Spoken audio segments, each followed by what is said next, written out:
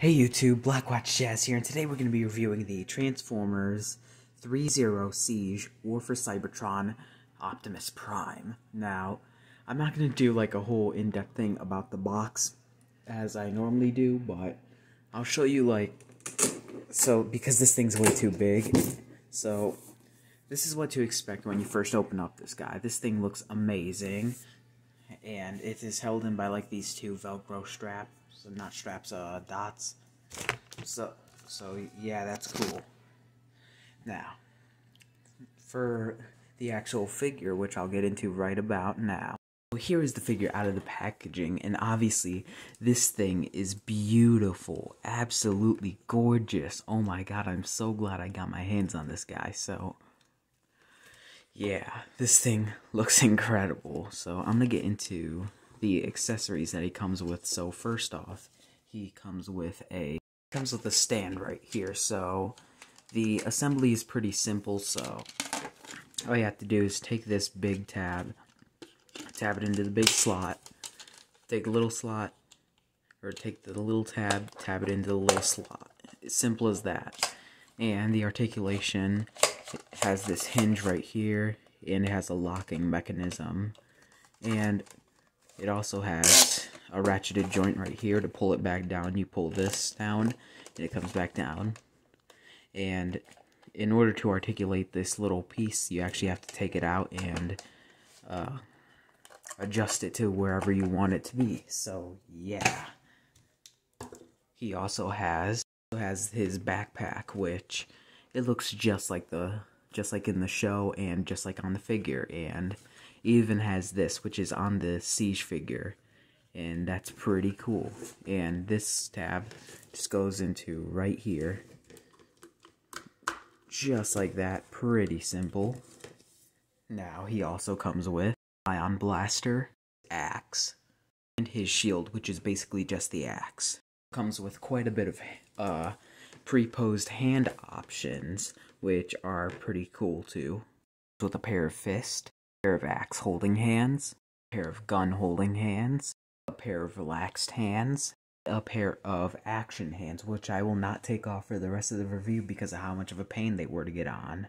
I'll go over some comparisons, so there isn't really much of a comparison I'll do since I don't have that many 3-0 figures. I only have one other, and that is the 3-0B, which obviously I'd expect to be shorter than Prime since, you know, B's a small character. So, kind of something to expect there. So, his articulation, we have a bit of a ball joint at the head. He can look up that far, look down that far. We got a bit of a tilt right here. Can do a full 360. Basically, everything you'd want for a head to do. So, yeah. His arm can move up right here.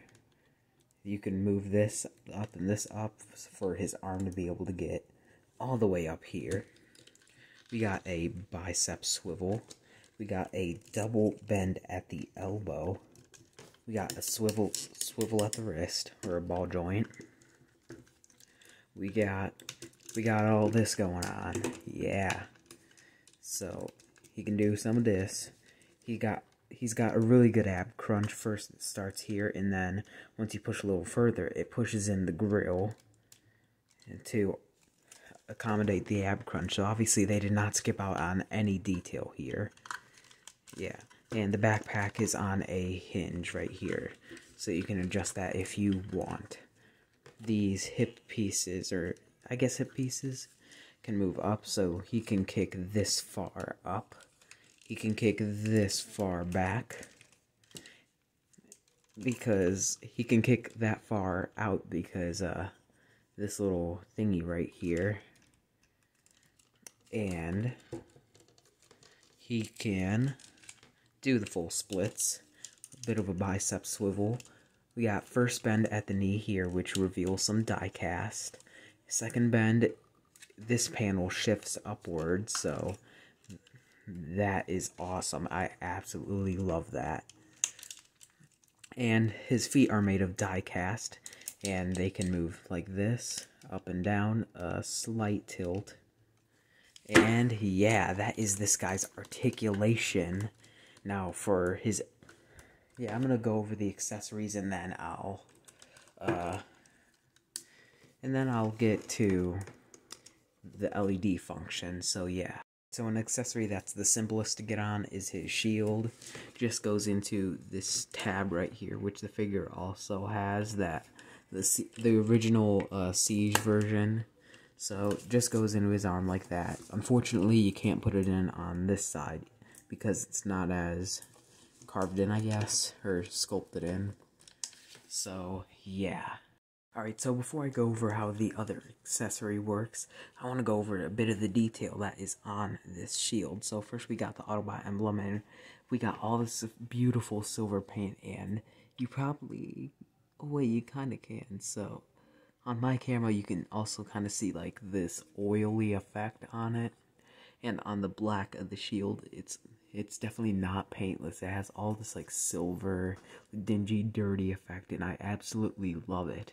Alright, for his next accessory is his ion blaster, which you'd be perfectly mistaken for thinking this is metal, but unfortunately it's not. It's just plastic, but it still looks incredible. Now, this goes on his hand.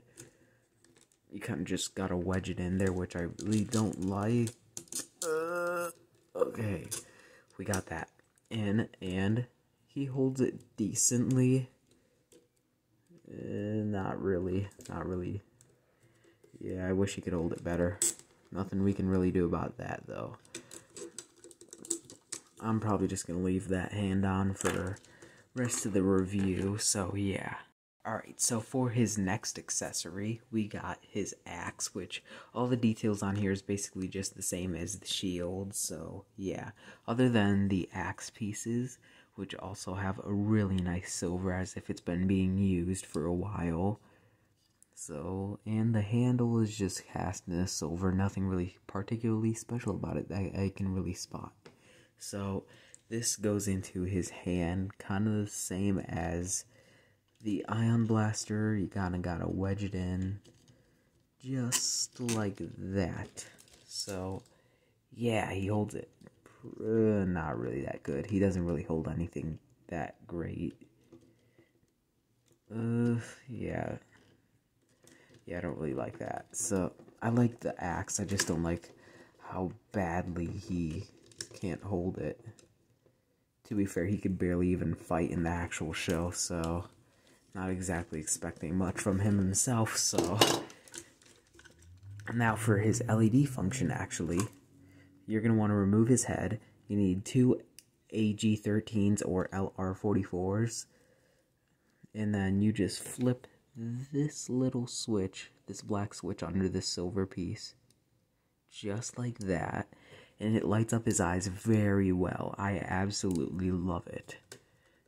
And then when you put it in, the chest lights up and everything. Even these little uh, headlights up here light up, but you can't really see it that well unless it's in a darkly lit area, which I will show right about mm, now. Here is his LED function in a darkly lit area, and this looks incredible. Oh my god. This guy looks absolutely beautiful with these LED lights, you have to admit. And here in this uh, scenery, you can see the the headlights are showing a lot better. So yeah. So one more thing I want to go over with this guy is how to attach him with the stand. So we just have to turn him around, lift this up so you got a bit more clearance, and then remove this butt plate. And basically you just kind of, I know it's wrong, but at the same time most figures are kind of, they connect the stands just like this, so honestly it does the job pretty well, though, if you ask me. So, yeah, looks incredible. That was my review off of the Transformers 3-0 War for Cybertron Optimus Prime. If you want me to see, or if you want to see me make more 3-0 reviews, leave a comment down below. So, yeah, thank you all for watching, and I'll see you on the next one. Bye-bye.